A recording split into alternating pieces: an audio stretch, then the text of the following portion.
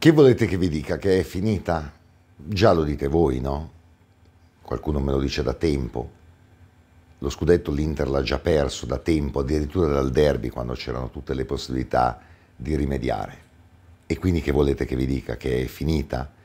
Visto che i nostri competitor principali, Milan e Napoli, hanno vinto e probabilmente la Juventus batterà la Salernitana e si avvicinerà ancora.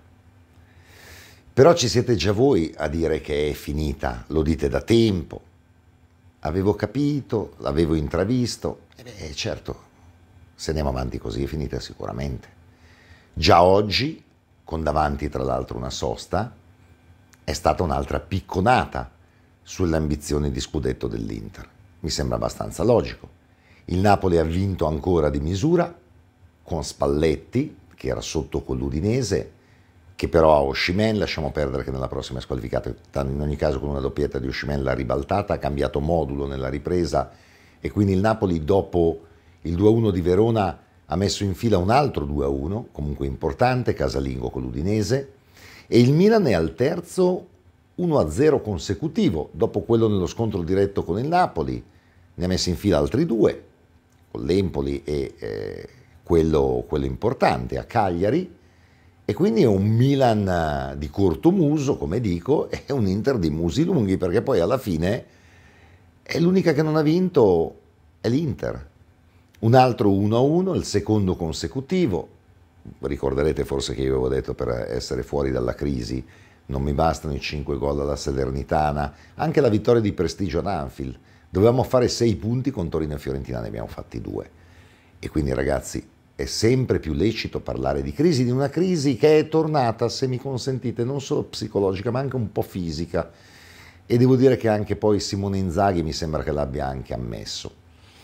La squadra non è più brillante, la squadra non riesce più a fare certe cose, cioè Lautaro torna a essere imballato, Geco gioca per la squadra, ma Correa e Sanchez entrano ma non ti cambiano le partite. Non lo so, se noi vogliamo dire che è tutto spiegabile con l'assenza di Brozovic, boh, secondo me commettiamo un errore fondamentale perché sennò allora evidentemente se noi siamo così dipendenti da un giocatore da non riuscire più a battere nessun avversario, evidentemente, evidentemente non siamo una squadra di vertice, ma io questo non voglio crederlo. Al proposito, Cialanoglu, Cialanoglu lo ha sostituito meglio, sicuramente, di quanto non avessero fatto Vessino col Torino e prima Barella con il Sassuolo, però adesso comunque Brozovic non andrà via con la nazionale, starà insomma adesso per un bel numero di giorni ad allenarsi e tornerà in grande spolvero per Juventus-Inter.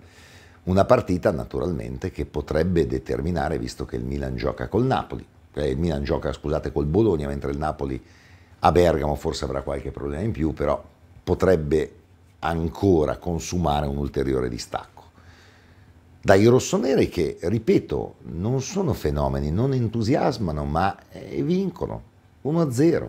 Anche il Napoli vince di misura, l'unica che non vince è l'Inter. Spiegazioni non so quali possano essere, perché, mm, ripeto, smetto di capirci qualcosa.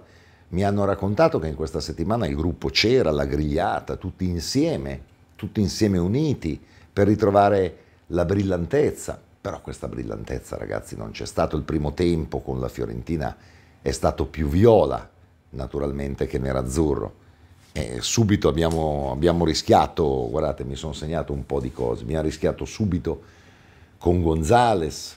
Poi abbiamo avuto una sola occasione Barella per Geco la parata di Terracciano ma il finale è stato viola. A un certo punto sembrava un tirassegno prima due respinte in area poi altre quattro Devo dire che poi, poi nella ripresa abbiamo anche beccato il gol con eh, Perisic che è stato quasi un po' preso in giro in copertura da Gonzales, ha messo al centro per Torreira 1-0, per, per Torreira 1-0.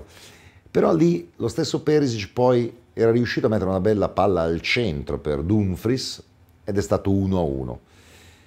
Da lì abbiamo avuto un po' di vigore, no? l'azione personale di Perisic, la richiesta di un rigore, francamente, venuti Lautaro che controllato al VAR, credo abbiano fatto bene Chiffi l'arbitro e Valeria non dare.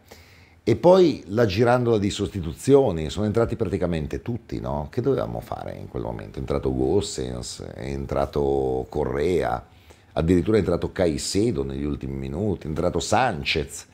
Sì, c'è stata la grande occasione nel finale di, di, di Sanchez, però non è che sempre ti va bene, come era successo col Torino. E lì Milinkovic ha deviato. E non posso neanche dire che ci siano segnali così negativi per quanto ci riguarda, oltre al fatto che camminiamo mentre gli altri corrono, perché se vi ricordate, insomma, dal punto di vista arbitrale siamo stati molto fortunati per non dire graziati col Torino. Abbiamo raccolto il pareggio nei minuti di recupero con Sanchez. E guardate che anche la partita con la Fiorentina, se il tanto vituperato da parte vostra Andanovic al minuto 94 non fa una parata straordinaria su Iconè, noi perdiamo anche questa partita, cioè noi perdiamo questa partita. Quindi ci sono dei segnali che incredibilmente sembrano tenerci ancora in corsa, però camminiamo mentre gli altri corrono, eh, questa è la verità. Oggi la classifica dice Milan 66, Napoli 63, Inter 60, sì va bene, se recupera col Bologna va al 63, ha un potenziale secondo posto, la Juventus, ripeto, da 56 sale a 59 e eh, c'è da temere ovviamente anche il sorpasso della Juventus alla ripresa, no? Perché insomma Juventus-Inter è una partita francamente molto a rischio per come siamo messi noi. Voi direte messa male anche la Juve, ma la Juve in campionato vorrei ricordare che dall'inizio dell'anno ha fatto qualcosa come 10 punti più di noi, esattamente come il Napoli, come il Milan. Cioè l'Inter dall'inizio del 22 del, 1900, del, del 2022 è a 14 soli punti, al decimo posto, ne ha fatti più la Fiorentina. E francamente non, non, riesco a capire, al di là dei meno 6 dal Milan, sempre virtuali, ma comunque sono meno 6, che cosa ci potrebbe scuotere. Adesso c'è la sosta, e però sapete che palle aspettare Juventus-Inter quando tutti gli altri hanno vinto, perché ci metto anche la Juve che vincerà, ma poco importa, hanno vinto Milan e Napoli, e l'Inter è l'unica che non ha vinto.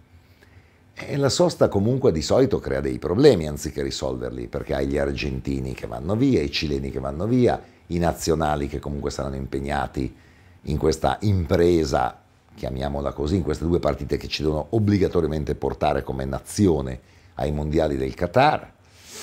Non lo so, io non, eh, ripeto, già siete voi che mi dite che lo scudetto è perso, che è finita, eccetera. Me lo dite da tempo, dal derby perso. Io continuo a pensare invece che non può finire così, che non può chiudere la stagione con tutta questa serie di pareggi l'Inter, andando veramente a due all'ora.